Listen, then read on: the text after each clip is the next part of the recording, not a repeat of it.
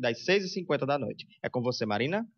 Muito obrigada, Sérgio. E a edição 2013 do Mossoró Cidade Junina movimenta a região oeste do estado, com diversas atrações culturais e o resgate das tradições nordestinas. O repórter Sérgio Henrique Santos mostra por que o evento é considerado uma das três maiores festas juninas do país. Um milhão e meio de pessoas em 13 dias de festa.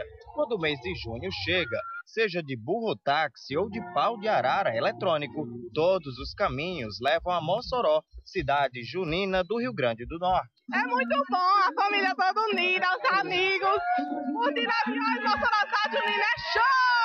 Mossoró pode vir, Brasil todo pode vir! A cidade inteira se veste com as cores e sabores do São João. O pessoal procura muito a pamonha, a canjica e o escondidinho é em primeiro lugar vilarejo cenográfico representa a pacata Mossoró dos anos 20.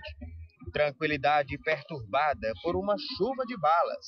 Veteranos e jovens atores recontam a resistência dos moçoroenses ao bando de Lampião. No meu caso, por ser jovem, não transmitir essa jovialidade para a personagem foi uma grande dificuldade, mas uma dificuldade que foi é, superada, que consegui transmitir bem lá no palco. O ataque de Lampião em Mossoró aconteceu no dia 13 de junho de 1927. Como a população da cidade conseguiu expulsar o cangaceiro, Mossoró ficou conhecida desde então como a terra da resistência. Aquilo que a peça, é, é, a, a, dramaturgia é, não contemplou, eu vou lá atrás e trago para a dramaturgia. E isso faz com que a peça se torne sempre nova, atual.